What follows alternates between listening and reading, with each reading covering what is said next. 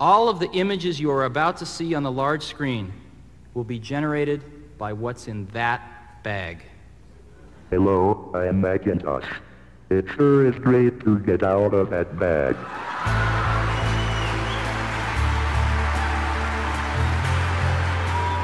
Millions of people bought a Mac because it did things that no other computer could do. It really got people excited. To, this is the personal computer like none other before.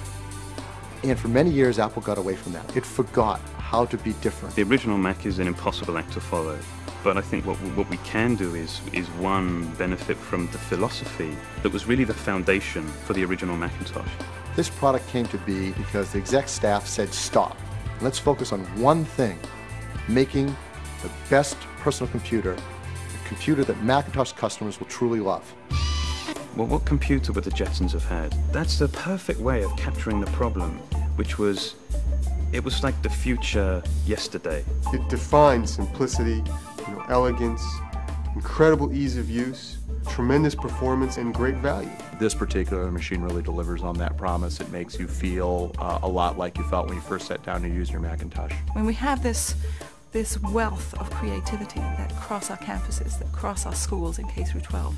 What we want to do is to unleash that capability. The team was a hand-picked team from around the world. It's a remarkable place to be as a designer. There's one company where this group could exist, and that's unquestionably Apple. That's what gets me really jazzed and gets me up in the morning is, is coming in every day and knowing, you know, I'm working with a world-class team to build the best products in the world. Wow, that's that's some look, that's some box. My first reaction was, my gosh, what is that? People have to use their hands to describe it. They struggle to find words to describe it. It's the first time we've seen something in our industry that wasn't a uh, beige box. Just imagine what's going to happen the first time somebody gets one of these home. I'm going to pull this thing out, I'm going to pick it up, and it's this gorgeous new shape. The surface as well is totally seductive. I mean, it's a lovely thing to touch and to hold. This cool keyboard with translucent keycaps. The connectors are, are translucent. I'm going to pull out this, this exciting new mouse. looks like no other mouse you've ever seen before. You turn it on and it comes alive. It's always changing. It's always moving. And before you know it, in the first five minutes of opening the box, you're already in love with this thing. I'd like to play with one. I want to see one. I want to see what it'll do. I want to put it through its paces. But then you look a little farther and you say, holy smokes, look at the capabilities of this machine. Because inside is the heart of the lion. I mean, this thing screams. This is not last year's product rehashed. This is next year's product delivered today. A lot of power, a lot of features. Uh, it's attractive, it's exciting, and it's well priced. That's what customers are looking for. We're going to sell tons of them, and, and I think this is the first product that will make PC buyers switch to Mac.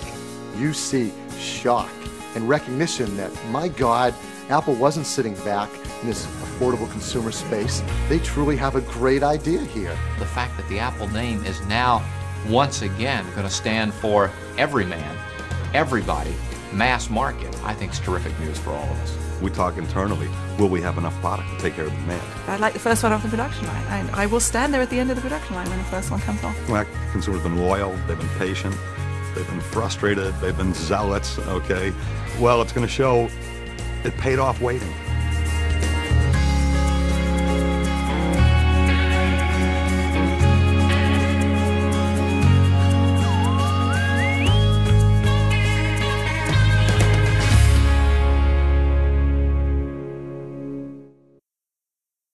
For those of you that think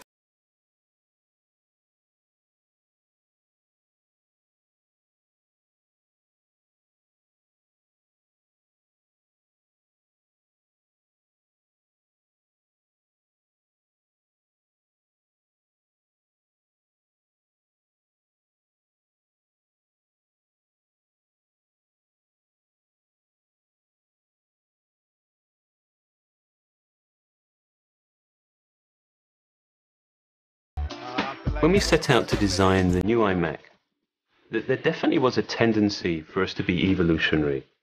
But one of the things that was great about the original iMac was that it was so revolutionary. So the new iMac had to be revolutionary too. The easy part was knowing that we were going to use a flat panel display. The hard part was trying to figure out how. Our solution appears to defy gravity. It's just this very simple, pure frame that appears to just float in space. When you look at it now, it seems so simple, it seems so obvious. And yet again, you know, as usual, the simplest, most efficient solution has been the most elusive.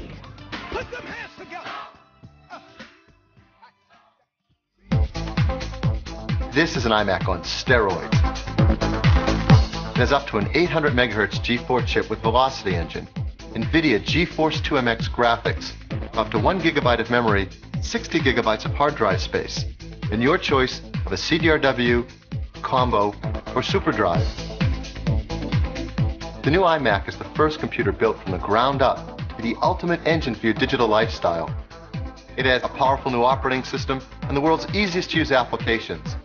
iTunes for managing all your music, iMovie for making your own movies, iDVD for creating and burning DVDs, and now iPhoto, the world's coolest digital photography software. iPhoto is a breakthrough in digital photography. It's the first software written to make it easy for you to import all your pictures into the computer, organize thousands of them and find them in a snap, eliminate red eye, and then share them with your family and friends via print, the web, and even a professionally bound book. Apple is the only company that makes the hardware, the operating system, and the software, all completely integrated with Apple's legendary ease of use.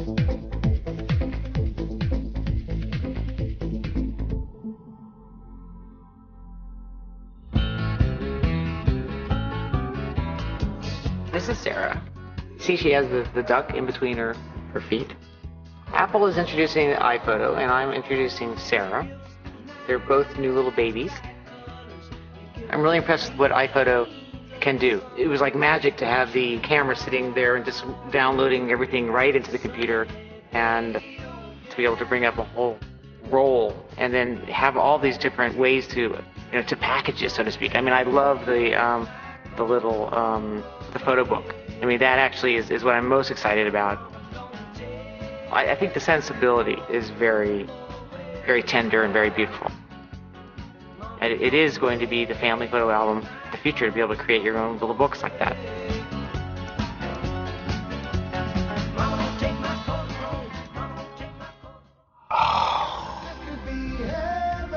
How gorgeous is that? I want one immediately. I won't leave without one. The way that iPod and iTunes work together is amazing. I think iTunes and the iPod are perfect examples of, of organic technology. Um, they work with you. You plug the iPod in and you get a replica of what is on your desktop for you to take with you anywhere you please. And it reminds me of something out of 2001 A Space Odyssey, or even beyond that. It's, it's, it's perfect. And with iTunes, iMovie, iDVD, and now iPhoto, the digital hub seems pretty much complete. I was kind of a boy scientist, so I was always totally convinced that the cinema would be electronic. This little machine I'm looking at is the uh, uh, the home base of a media factory, and all it needs are a number of pieces of hardware: a still camera, the iPod, a, a digital a moving camera or camcorder. You could make a book. You could you could make a presentation. You could make a slideshow. You could make a feature film on this. Why not? Tell the story of your life with stills and things you shoot with your digital camera. There's no limitation. Sooner or later, someone with these tools is going to make a great masterpiece.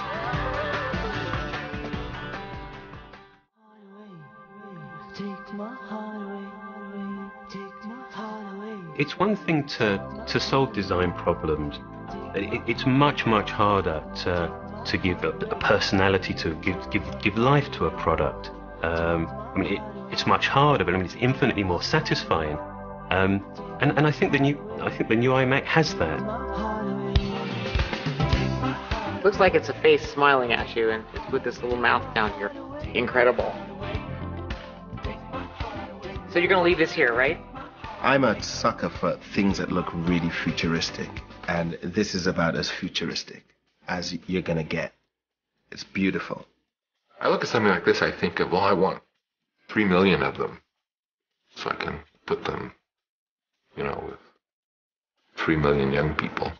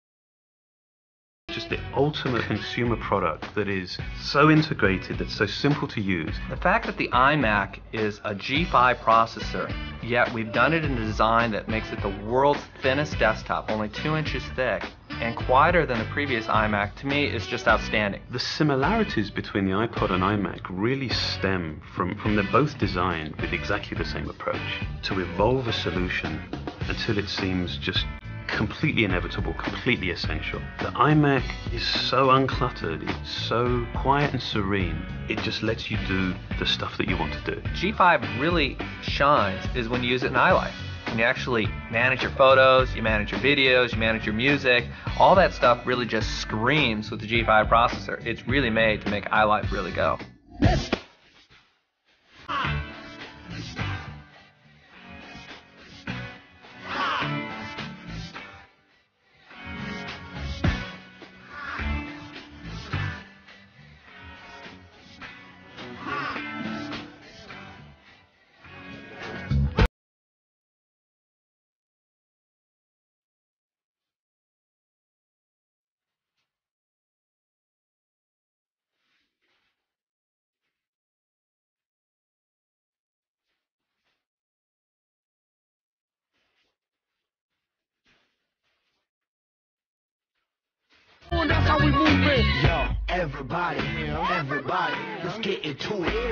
Stupid. Come on. Get started. Come on. Get started. Get started.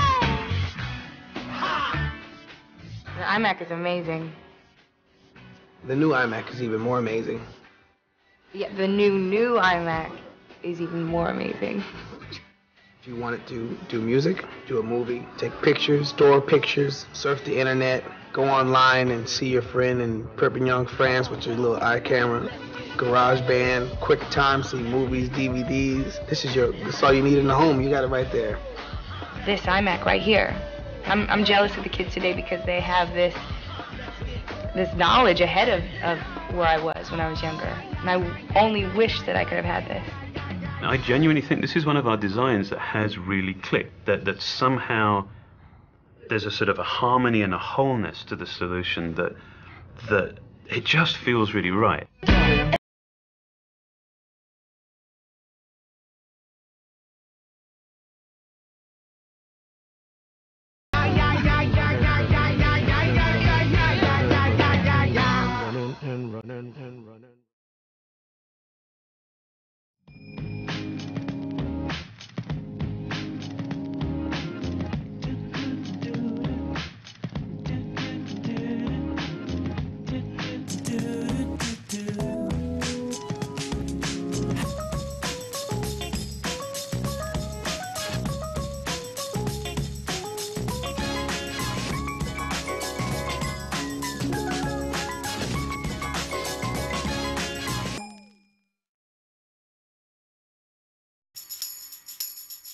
Our goals for the first iMac and the goals for this iMac, they've they've not really changed at all. You know, they're they're all about trying to create an all-in-one product based on amazing technology, but making it very very simple. This new iMac really is an evolution of a product that was so right in so many ways when we first released it.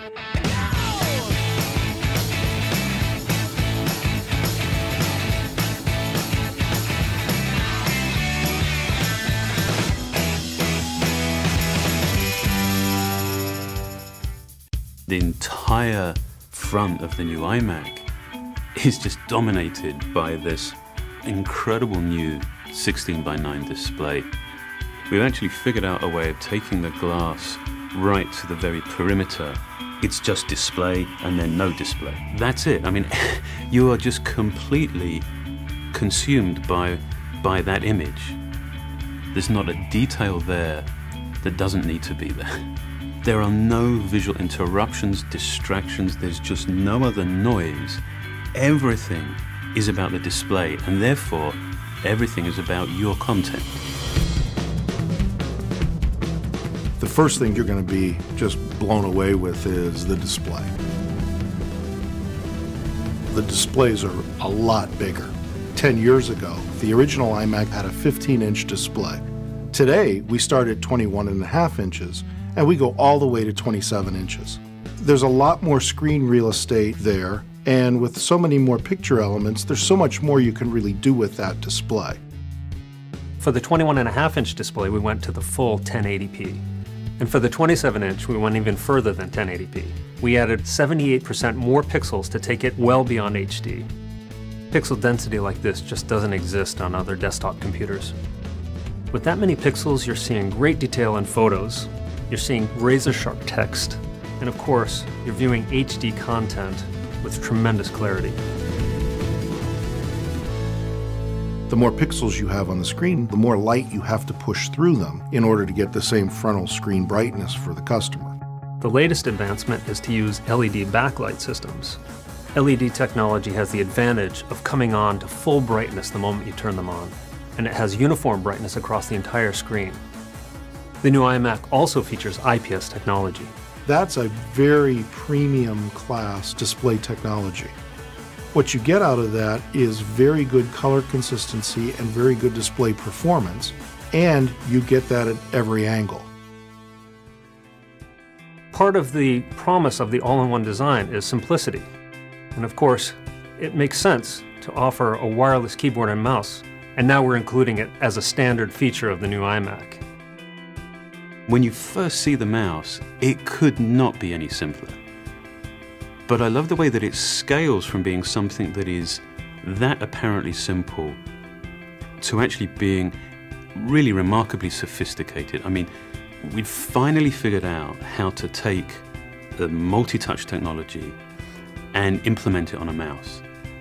It's still a point and click mouse, but now the entire top surface of the mouse is, is basically it's a multi-touch sensor. This is the smartest mouse we've ever made. There's a chip inside that acts essentially as a brain. As you put your fingers on the top shell, it can determine where they're located, how many you have, and through your gesture, your movement, it can determine what your intent is. You can scroll anywhere on that top surface, you can swipe. It is incredibly intuitive. I mean, you can use it without thought, you know, it's just the way that you would have expected the mouse should have always worked. Outwardly, you can see differences between our new iMac and previous generations, but inside, it's really radically new. Storage, memory, new CPUs, new graphics processors, really everything's better and faster in this new iMac. The 27 inch computer with this new quad core Nehalem processor, it's a real workhorse. Those are workstation class technologies that are really built in a consumer computer. We're really proud of this iMac, especially in terms of the environment. But the key with the environmental story is it's never over, because as you learn how to remove toxins, you change your focus from doing that to how do we build this thing really energy efficient? And not just to meet Energy Star, but to go way beyond that. We take a life cycle view of the carbon footprint, and you'd find that the customer's use of the computer has the biggest impact on its carbon footprint. And so in this product, we really drove at energy efficiency. And that's where we have a tremendous advantage because we not only build the hardware, but we also create the software. So we're able to really manage power throughout the system extensively. We even power down processors between keystrokes. And I think we're really unique in how far we've pushed that hardware and software technology to do that. With this iMac, we took everything so much further. The displays are bigger, the pixel count is higher, it comes standard with a wireless keyboard and new multi-touch mouse. It features faster graphics, faster processor, more RAM, and more storage. This is truly our best iMac ever. The core ideas, the founding ideas of the iMac are as relevant and as right now as they were, you know, with the first one. And so rather than just, you know, being consumed by reinvention, this is one of those fantastic opportunities to, to be very clear about what's right and that we don't want to change. So that we can put all of our energy behind improving those aspects of the product that we can make better. And, and that's what this iMac represents. It's, it's a collection of our very best thinking, our, our very best innovation.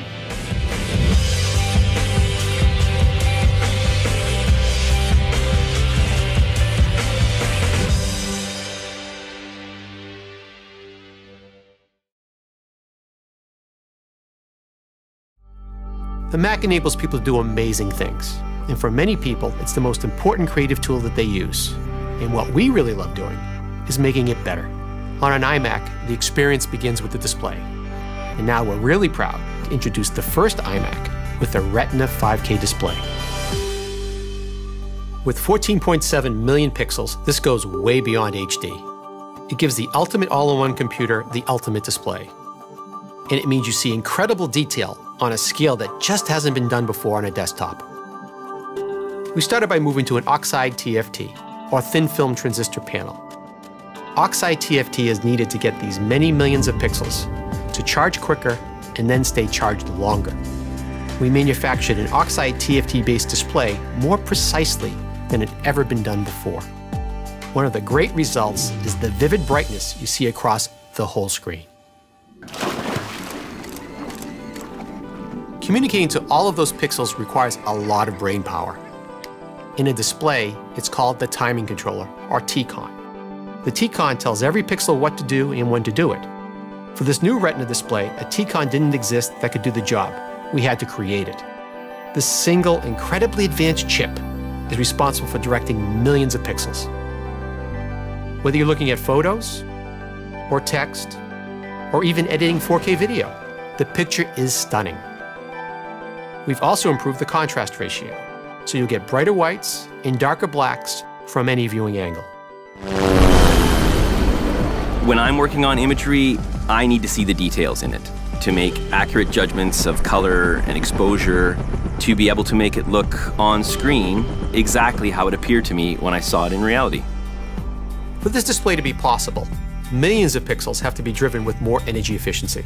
We use power-saving LEDs and organic passivation which enables a clear, accurate signal to be sent to each pixel.